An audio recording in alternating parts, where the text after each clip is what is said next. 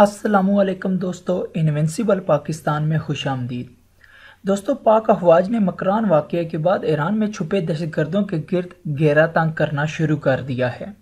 پاک افواج اور پاکستان کی حکومت نے ایران پر واضح کر دیا ہے کہ اگر ان دہشت گردوں کے خلاف ایکشن نہ ہوا تو ہم خود آپریشن کریں گے۔ اور ان دہشت گردوں کے جو ساتھی ایرانی بارڈر کراس کر کے بلوچستان میں داخل ہوئے، ان کو عبرت کا نشان بنانے کی تیاری ہو چکی ہے۔ مزید ویڈیو کی تفصیل کی طرف آتے ہیں، مگر اس سے پہلے اگر آپ نے ہمارے چینل کو سبسکرائب نہیں کیا، تو برائے مہربانی ابھی سبسکرائب کریں اور بیل آئکن کو ضرور دبائیں تاکہ آپ ہماری ہر آنے والی ویڈیو سے باخبر رہیں۔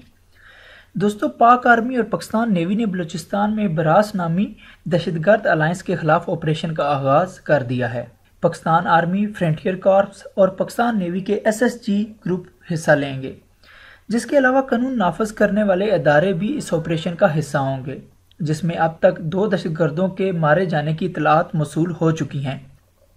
اس کے علاوہ خفیہ ایجنسیز کے ایجنٹس نے کے پی کے میں مانسیرا سے دہشت گرد تنظیم ٹی ٹی پی کے دو بڑے کمانڈر عظیم جان اور محمد انور کو گرفتار کر لیا ہے۔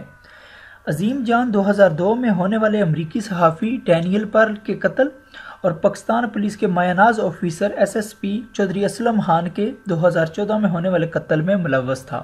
براس راک کی بنائی گئی بہت سی دہشت گرد تنظیموں کی ایک الائنس ہے، جس میں Tehreek Taliban Pakistan, Baloch republic army Baloch liberation army اور کچھ دوسری دہشت گرد تنظیمیں شامل ہیں۔ کلبھوشن یادو اور ڈاکٹر نظر کے مرنے کے بعد یہ تنظیمیں ناکام ہو گئی تھیں۔ یہ الائنس دو ہزار انیس کے شروع میں بنائی گئی کیونکہ بی ایل اے کی ساری کمانڈ کو پاکستان نے دسمبر دو ہزار اٹھارہ میں افغانستان میں مار دیا تھا۔ براس کا پہلا اٹیک فروری دو ہزار انی میں ہوا۔ ابتدا میں یہ تنظیمیں الگ الگ کام کرتی تھیں، مگر پاک افواج کے خلاف کارگر ثابت نہ ہو سکیں۔ بھارتی خفیہ ایجنسی راہ نے ان تمام تنظیموں کو براس نام کے الائنس میں اکٹھا کیا تاکہ مل کر پاکستان کے خلاف کارروائی کی جائے۔ ان تنظیموں کا مقصد بلوچستان میں ہونے والی معاشی ترقی کو روکنا اور پاکستان میں انتشار پیدا کرنا ہے۔ اور مکران میں دہشت گردی کے واقعے کے بعد پاک افواج کے اس آپریشن کی مکمل جانکاری کوئی بھی نہیں جانتا کیونکہ ایسے آپریشنز کو خفیہ رکھا جاتا ہے۔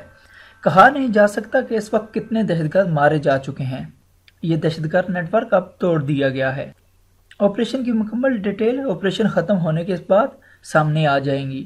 ماضی میں ہمیشہ ایسے واقعات پر ایران نے پاکستان کو سنجیدہ نہیں لیا۔ اس کی بڑی وجہ پاکستان میں لیڈرشپ کا بحران تھا۔ مگر اس وقت پاک افواج اور پاکستان کی حکومت اس قدر باثر ہے کہ ایرانی سفارتکار نے اپنی حکومت کو کہہ دیا کہ پاکستان اس بار چپ نہیں بیٹھے گا۔ ہمیں اپنی سرزمین پاکستان کے خلاف استعمال ہونے سے روکنا ہوگی۔ مزید ویڈیوز اور اپڈیٹ کے لیے چینل کو سبسکرائب کیجیے گا۔ اللہ حافظ۔